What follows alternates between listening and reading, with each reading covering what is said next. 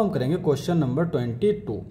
क्या दे रखा है integration of sec square seven minus four x देखो सेक स्क्वायर एक्स का इंटीग्रेशन क्या होता है? टेन एक्स तो इसका इंटीग्रेशन तो आएगा टेन एक्स एक्स की जगह पर सेवन माइनस फोर एक्स उसके बाद में जब हम इंटीग्रेशन करते हैं तो एक्स का जो कॉफिशियंट होता है, वो आता है अपॉन में। तो अपॉन में आएगा minus four plus integration constant C. यही हमारा आंसर हो जाएगा।